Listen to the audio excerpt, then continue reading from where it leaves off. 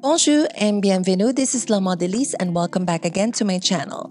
In today's tutorial, we are going to learn how to draft and how to sew a twist knot technique for tops or blouses. This technique will only require paper drafting and draping is not necessary. Though it may seem like this method is draping related, but it is not. It only gives a draping aesthetic since the technique relies heavily on a pattern making technique called slash and spread.